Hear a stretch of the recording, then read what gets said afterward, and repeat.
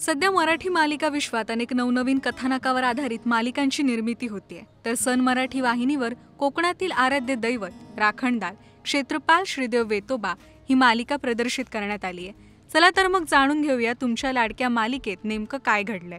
एपिसोडच्या सुरुवातीलाच आपण पाहिलं की वंदी शाळेतल्या मुलांबरोबर वेळ घालवताना दिसते.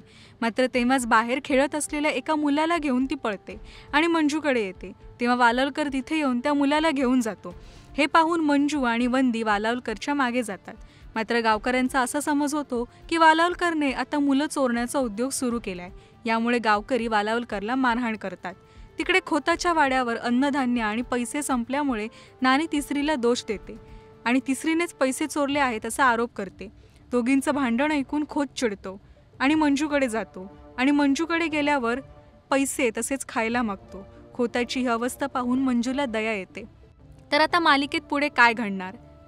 हाडक्याने त्याचा प्रभाव दाखवल्यामुळे खोताचा अंत होणार का? हे जाणून घेण्यासाठी पाहायला विसरू नका. क्षेत्रपाल श्रीदेव वेतोबा ही मालिका फक्त आणि फक्त सन मराठी वाहिनीवर.